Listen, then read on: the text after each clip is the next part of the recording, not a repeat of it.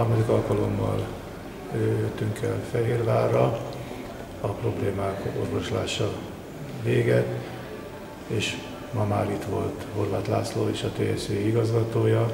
Jó, hogy itt volt, mivel megígérte, hogy mindaddig, míg az új hétre a pénztársok vissza nem költöznek, az osztott munkaidőt nem kell alkalmazni, úgyhogy az osztott munkaidőre első részt munkaidőként számukra kifizetik.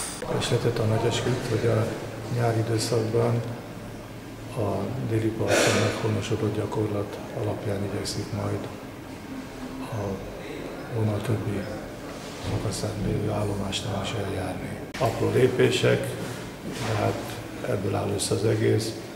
Meghallgatta a jegyvizsgáló mondjai panaszait, megértőnek bizonyult, és a lehetőségéhez mérten igyekszik rajtuk változtatni.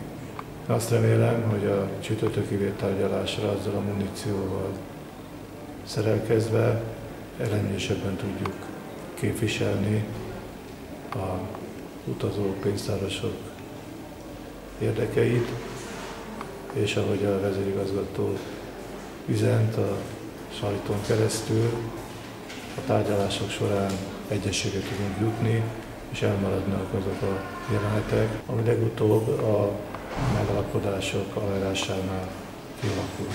Biztosított bennünket arról, hogy a vezérigazgató által kiötlött, és a napokban a munkavállalók elé tárt megalapodások aláírása során semmifajta erőltetett kényszert, főnöki, munkáltatói befolyást nem fognak alkalmazni. Tehát mindenki szabadon döntheti el, hogy az elfogadja az aláírásával, vagy sem. Szakszeretünk álláspontja változatlan, tehát nem javasoljuk senkinek aláírni mindaddig a munkáltató által elkínált megalapodást, amíg erről részleteiben és egészében a munkáltatóval nem tudunk megállapodni, mert úgy ítéljük meg, hogy a felkínálni tervezett megállapodás nem szolgálja összességében a jegyvizsgálók érdekeit.